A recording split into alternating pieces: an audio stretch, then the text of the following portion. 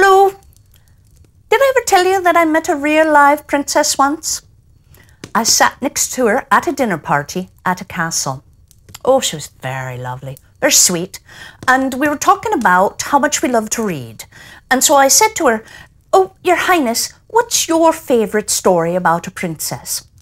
Well, she closed her eyes for a bit, and then suddenly they popped wide open, and she said, The Princess and the Pea. And she tossed down her napkin, jumped up, ran out, slammed the door. Obviously, I was very surprised.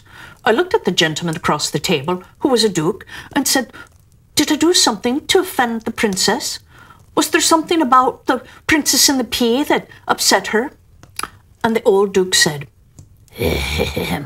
I'm sorry, my lady, you misunderstood. she said, The princess has to pee. True story. Hmm? Well, and now here it is just for you The Princess and the Pea by Hans Christian Andersen. There was once a prince, and he wanted a princess, but then she must be a real princess. He travelled right around the world to find one, but there was always something wrong. There were plenty of princesses, but whether they were real princesses, he had great difficulty in discovering. There was always something which was not quite right about them.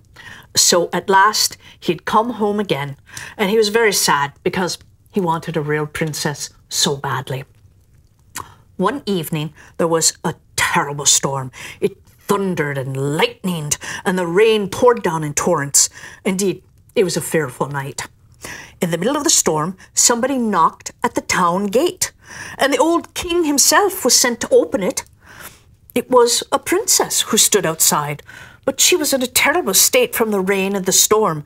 Well, the water streamed out of her hair and her clothes and ran at the top of her shoes and out at the heel, but she said that she was a real princess.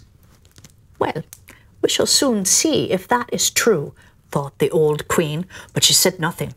She went into the bedroom, took all the bedclothes off, and laid a pea on the bedstead.